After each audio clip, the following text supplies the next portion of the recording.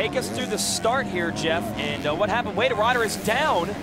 Well, watch right here. That's our points leader, red plate, Blake Baggett. And watch the orange gear around the outside of him.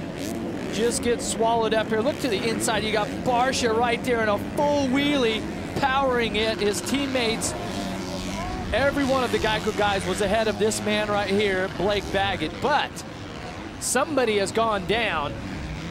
Yeah, I'm trying to figure if that was Tomac or not. Went down the left side of the screen as you watch back. It and yes, it was. was. It was Tomac. Oh.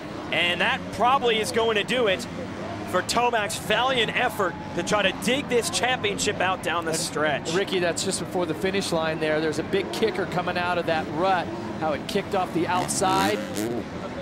Yeah. Yeah, not sure what happened there. What an effort, though, he's put in. Look, he's regrouped. He knows at this point it's pretty much gone. Yeah. But Eli Tomac has put in such incredible rides this year. He put in the charge all the way.